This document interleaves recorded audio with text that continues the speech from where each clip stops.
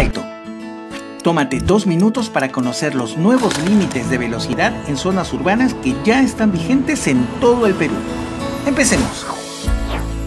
¿Por qué es importante conocer y respetar los límites de velocidad? La principal causa de muertes en nuestras pistas es la alta velocidad de conducción.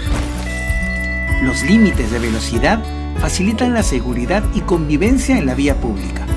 A menor velocidad, mayor es el campo visual. Conducir más lento nos permite reaccionar con mayor rapidez, ya que podemos ver sin problemas a todos los que comparten la vía. Respetando los límites de velocidad, tenemos calles más seguras. ¿Cuáles son estos nuevos límites de velocidad en zonas urbanas? Pues 50 y 30 km por hora.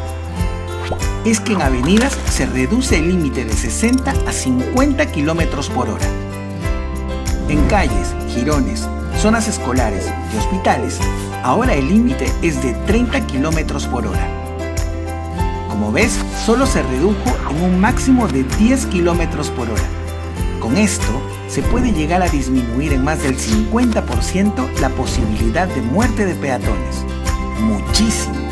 Es que estos nuevos límites permiten que la distancia de reacción del conductor y de frenado sea menor ante cualquier emergencia en la vía, salvando muchas vidas. Recuerda, respetar estos límites de velocidad ayuda a evitar muertes en las pistas. Y si te preocupa el tiempo, los estudios comprueban que solo te tomará un par de minutos más en tu viaje, el tiempo que dura este video. Salva vidas. Es muy fácil, 50 y 30 kilómetros para circular por la vía. Ayudemos a tener ciudades más seguras y a movernos con más bienestar. Respeta los límites y ayuda a cuidar a tu comunidad.